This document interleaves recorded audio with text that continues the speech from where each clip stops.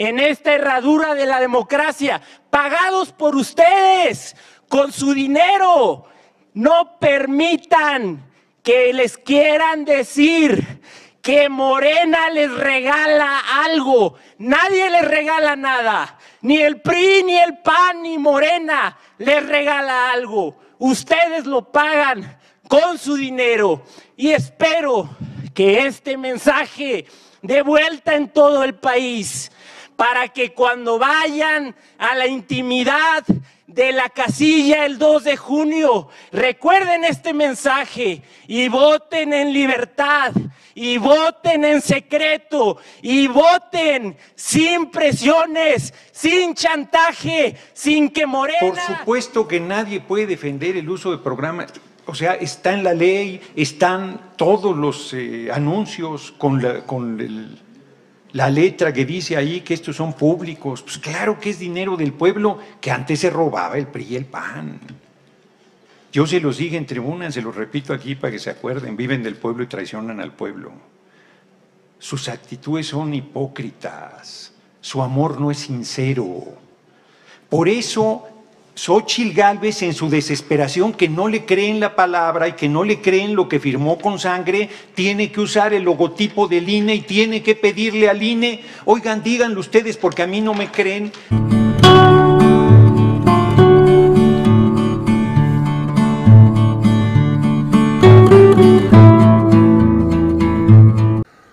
Vamos a ir a esta sesión del INE donde el representante del revolucionario institucional se enloquece, enloqueció, parece que traía algo metido. Urge un antidoping antes de entrar a la sesión. Se pone a decir cosas que el presidente López Obrador siempre lo dice en las mañaneras. El dinero de los programas sociales es del pueblo de México, son de sus impuestos. El presidente lo ha dicho muchas veces. Es dinero que antes se robaban los del PRI y el PAN cuando gobernaban. Amigos y amigas, el Señor no dijo nada nuevo. Vamos a ir a esta sesión muy interesante. ¿Alguien más? Adelante, señor representante del PRD, Guadalupe Acosta Naranjo. Muchas gracias, Presidenta. Eh, consejera Claudia Zavala. Eh, yo había jurado no escuchar nunca la mañanera, pero ahora me, hizo que me la chutara completita. Entonces, ni modo todo sea por el bien de la democracia y de la mejor claridad del tema.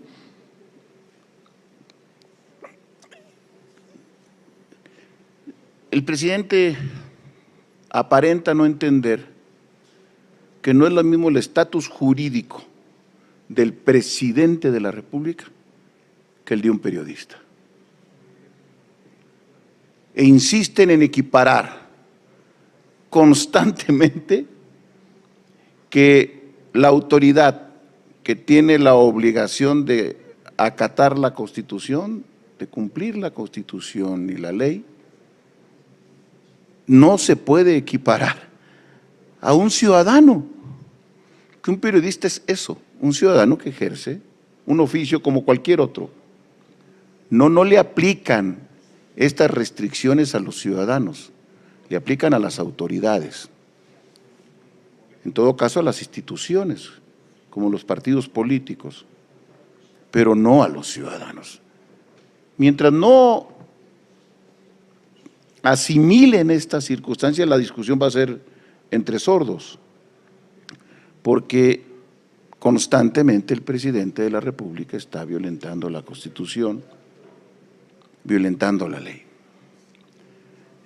Yo eh, creo que deberíamos de comenzar a discutir, yo sé que ha sido una cosa que se ha discutido en otros temas, en otras ocasiones, en algunas como en 2019, se llegó a tomar la decisión de que las mañaneras se suspendieran en procesos electorales ratificado por el tribunal.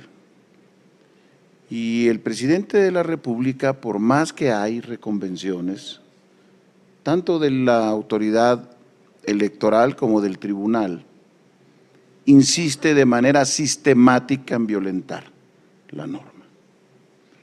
volver a poner en el centro de la discusión si lo adecuado es que se suspendan las mañaneras o su campaña electoral permanente de uso de recursos públicos por parte del titular del Poder Ejecutivo, debería de volverse a poner en la mesa.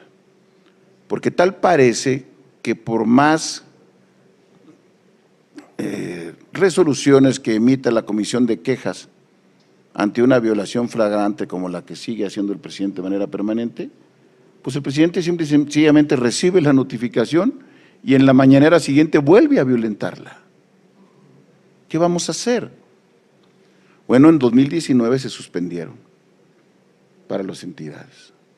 Ya se llegó a esa decisión. Debería de volverse a plantear, a plantear una circunstancia de ese tamaño para tratar de poner un remedio de tajo a la intervención indebida y legal del presidente de la República. López San Martín no tiene el mismo cargo que López Obrador, ni las mismas obligaciones legales y constitucionales, por más que insista López Obrador en eso. Y solamente un comentario adicional. No me deja de llamar atención cómo va creciendo la legión de superhéroes de Morena. Ya no solamente es el patriota Manuel Bartlett, ahora defienden a López Gatel, que sin ser candidato ha sido objeto aquí de una discusión larguísima un señor que dijo que sería una catástrofe si llegábamos a 60 mil muertos en la pandemia. Y las cifras de los estudios, entre otros del INEGI, dice que rondan los 800 mil muertos. Fue una actuación criminal la que se hizo en aquel momento. Para muchos de nosotros, López San Martín es suave en la manera como se expresa, de alguien que siendo responsable de una política pública de salud, tuvo tal nivel de incompetencia. Pero no hubiera pasado nada si el peso baja o sube o una obra no se concluye. Estamos hablando de vidas humanas, de cientos de miles de personas que fallecieron por una política criminal criminal de una persona como López Gatel. Está creciendo su legión de superhéroes. Al patriota Manuel Bartlett se suma ahora el heroico López Gatel. Bueno, sobre eh, el, el punto en cuestión que nuestra coalición Fuerza y Corazón por México ha determinado titular medidas para evitar el uso faccioso de los programas sociales, me permito leer nuevamente el comunicado de nuestra candidata presidencial, Xochil Gálvez, quien hace un llamado muy sensible, muy oportuno, que es el siguiente. Ciudad de México a 27 de marzo del 2024, licenciada Guadalupe Tadei Zavala, consejera presidenta del Instituto Nacional Electoral, presente. Xochil Gálvez Ruiz, en mi carácter de candidata a la presidencia de la República por la coalición Fuerza y Corazón por México, y ante el uso faccioso de los programas sociales del gobierno federal en la contienda electoral, me permito solicitar, primero, que el Instituto Nacional Electoral de forma urgente inicie una campaña de difusión en televisión, radio, periódicos y plataformas digitales con el mensaje. Y abro comillas, los programas sociales, becas, pensiones y apoyos del gobierno no pertenecen a ningún partido político. Son programas pagados con recursos de los ciudadanos y están en la Constitución. Ningún partido debe condicionar su permanencia a cambio de tu voto. Cierro comillas. Es públicamente conocido que la campaña de Morena y sus partidos aliados no se basan en propuestas o planes de gobierno, sino en dinero y amenazas para evitar que voten por la coalición que hoy encabezo. En ese sentido y con la finalidad de preservar los principios de equidad, imparcialidad y del voto libre e informado en la presente contienda electoral. Y segundo, solicitarle una reunión con carácter de urgente con las consejeras y consejeros de este instituto electoral para darle seguimiento a esta petición. Atentamente firma la próxima presidenta de la República, Xochil Gálvez Ruiz. consejeras y consejeros electorales, este tema es de la mayor relevancia, pues a partir de este momento nuestra coalición, nuestra candidata, el PRI, el PAN y el PRD, y los millones de ciudadanos que fervientemente creen en nuestras siglas y en nuestros proyectos, en nuestras causas y en nuestra oferta y plataforma política, así como en nuestros candidatos, habremos de iniciar una campaña firme y sólida de difusión y de información de que los programas sociales, y lo repito muy claro, para los medios de comunicación y para quienes nos sigan en las redes sociales, las becas, las pensiones, los programas sociales, las pensiones del adulto mayor, las becas para los jóvenes, las, pensiones para las abuelas y los abuelos, las ayudas para las madres solteras, todo, en fin, todo lo que constituye la ayuda que el Estado mexicano le da a la población mexicana es una ayuda que nosotros pagamos, que ustedes pagan a través de sus impuestos. Cada que van a la tienda, al Oxxo, al supermercado, a comprar algún producto y pagan 16% de IVA del impuesto al valor agregado, ustedes mismos con el dinero de su bolsillo están financiando esos programas sociales. Cada que reciben su quincena, y les quitan el ISR y no les dicen eh, claramente a dónde se va ese dinero. Bueno, ese dinero se usa para pagar los programas sociales que ustedes están recibiendo. Y ahora pretenden venir a decirles que esos programas sociales se los regala un partido político, que en este caso es Morena. No es cierto, mexicanas y mexicanos, los pagan ustedes con su dinero, con sus bolsillos, porque ustedes con sus impuestos son quienes financian al gobierno. Gracias a ustedes existe gobierno. Gracias a ustedes existe el Estado mexicano.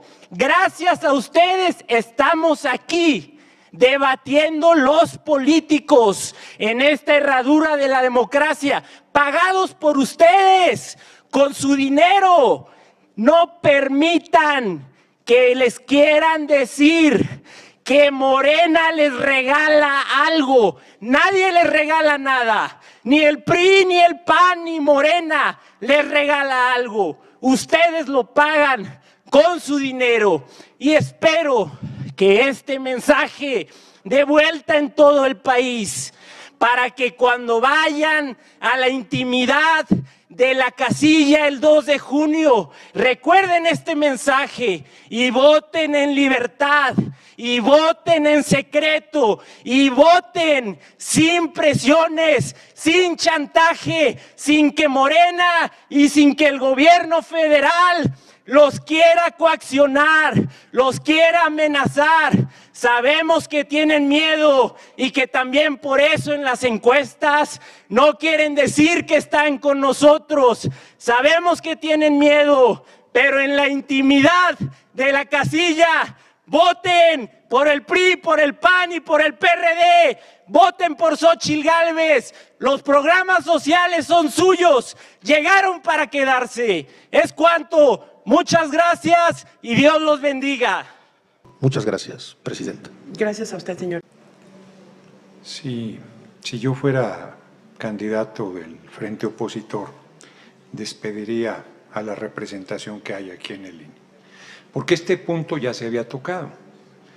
De hecho, la consejera presidente había leído el oficio que aquí se volvió a leer. Si en vez de preocuparse andar de monaguillo, estuviera atento a la discusión, se habría dado cuenta perfecto que eso ya se había abordado. Pero además no estoy de acuerdo en que aquí se diga, no, no, no ha pasado nada. No, sí, sí ha pasado. Se está usando el logotipo del INE. Hubo un llamado de la consejera presidente, y por eso no se entera, que no se entera, diciéndole a Berta Xochil Galvez Ruiz, de la mejor manera le pido que retire el uso del logotipo de sus cuentas privadas, cuentas personales. Los representantes del PRI, del PAN y del PRD serían quienes debieron haber hecho este planteamiento aquí ante el Pleno del Consejo. Esta petición que están haciendo tardíamente, porque su candidata no les tiene confianza, sabe que no atan ni desatan y entonces ella públicamente hace el planteamiento. Se necesita desvergüenza para decir que esto no es grave. Hay mensajes de Xochitl Galvez Ruiz con el logotipo del Instituto Nacional Electoral. Aquí hubo consejeras, consejeros que plantearon que el hecho era muy grave y que se debería investigar. O sea, que se diga, no, no pasa nada, no, no, no es ningún problema mayor. No, a ver, de aquí se puede desatar el uso del logotipo del INE, pero indistintamente, de la manera que se quiera, y ahora cómo se pone, cómo se reencausa el que se haya roto el respeto a la identificación institucional del órgano electoral. ¿Cómo paras Xochil Gálvez, lo echó a andar, Berta Xochil Gálvez Ruiz? ¿Y cómo paras que ahora reproduzcan esto y que la gente se entere si es del INE o si no es del INE, si es institucional o no es institucional? Pero además, quienes, fíjense en lo que acabó el PRI, es que son una parodia, es que ni candidato llevan, es que están apoyando a la derecha, es que en vez de dar argumentos políticos sueltan sus creencias religiosas y dicen que no violan el Estado laico. ¿Qué pasó con el PRI? ¿Qué les, qué les sucedió que tiene esta parodia de representación? ¿Qué pasó con el PRD que se volvieron los sepultureros de su partido y que hoy sirven a sus opresores y quieren sacarle las castañas del fuego. ¿No verdad que no es muy grave? ¿No verdad que no dijeron? ¿No verdad que no hay ningún problema? ¿No verdad que el, el, logotipo del INE se puede usar impunemente quien sea, sobre todo una candidata a la presidencia? Una candidata a la presidencia. Se arroga el derecho de usar el logotipo del INE impunemente Todavía con mucha bonomía la consejera presidente le dice, oiga, en los mejores términos, no debe utilizarlo. Y se plantea la posibilidad de una reunión con la candidata de la derecha. Interesante. Interesante porque aquí está su representación, que no sirve para nada. Interesante porque tiene seis personas aquí que plantean sus puntos de vista. Interesante porque además están trampeando la discusión. Quienes han usado y siguen usando los programas sociales para hacer coacción del voto son ellos. En los estados donde gobiernan, les entra por una oreja y les sale por la otra. En Guanajuato tenían 80 mil mujeres que el comité de paneaguados decide unilateralmente, no hay criterios conocidos públicos. Todos los programas sociales federales tienen criterios públicos conocidos, auditables, revisables, exigibles. No es discrecional como en Guanajuato. Y pasaron de 80 mil a 350 mil, digo, ya hasta se me fue el número, pasaron de 80 mil, sí, a 300 y tantos mil. Y se lo dan a su estructura electoral. Pidieron 5.200 millones de deuda, ya lo dije, nos repetimos porque estamos tratando otra vez el mismo tema que ya habíamos tratado. Yo creo que sí hacía falta un receso, consejera presidente, porque algunos ya perdieron el lugar en que nos encontramos y el tema que estamos tratando, que ya había sido abordado. Por supuesto que nadie puede defender el uso de programas o sea, está en la ley, están todos los eh, anuncios con, la, letra que dice ahí que estos son públicos. Pues claro que es dinero del pueblo que antes se robaba el PRI y el PAN. Yo se los dije en tribuna, se los repito aquí para que se acuerden, viven del pueblo y traicionan al pueblo. Sus actitudes son hipócritas, su amor no es sincero. Por eso Xochitl Galvez en su desesperación que no le creen la palabra y que no le creen lo que firmó con sangre, tiene que usar el logotipo del INE y tiene que pedirle al INE, oigan, díganlo ustedes porque a mí no me creen, pero yo pregunto cómo el INE puede asegurar que si ganara la oposición, que no va a suceder, pero cómo puede asegurar que no van a quitar los programas sociales si es lo primero que hacen, faltar a su palabra, si es lo primero que hacen, empobrecer al pueblo si es lo primero que realizan, rematar el patrimonio nacional? ¿Cómo podría el órgano electoral ser garante de la palabra de Berta Xochitl Galvez Ruiz, que no tiene palabra, ni principios, ni moral, ni seriedad, ni consistencia? ¿Cómo podría el INE erigirse en garante de la candidata del PRIAN? ¿Cómo podría? No solo no tiene facultad, sino aunque la tuviera, aunque quisiera, no podría hacer que cumpla su palabra. El pueblo sabe que no va a cumplir su palabra y por eso no va a votar por ella. Y en su desesperación vienen aquí a querer confundir de que está en debate el uso de los programas sociales. No, lo que está en debate es que no tienen propuesta. Lo que está en debate es que cada que hacemos un planteamiento lo tuercen y dicen que estamos eh, violentando la ley. Cada que hay un debate plantean y ponen en nuestra boca cosas que no hemos dicho. Bueno, hasta nos hacen que nos soplemos la sentencia completa. Y eso no cambia lo torcido de las decisiones. Eso no cambia el doble rasero. Eso no cambia nuestro derecho a seguir reclamando en este espacio lo que consideramos incorrecto. O sea, yo sí salgo mucho. Tomo mucho té, tiene un efecto natural, pero estoy atendiendo, ahí está una bocinota en el baño, ahí los oigo, aunque no los quisiera oír. Entonces no estoy evadiendo yo nada. Tampoco evadan ustedes. Esto es ilegal, es inmoral, es ilegítimo, es un abuso, es una falta de respeto y es de una desvergüenza inaudita. No, no es un asunto menor, es un asunto gravísimo. Ningún candidato a la presidencia de la República, ni del PRI ni del PAN, se habían atrevido nunca tanto. Muchas gracias, señor diputado. En este punto, ¿alguien más desea intervenir? Eh, consejera Carla Humphrey y después el diputado Mario Yerbo.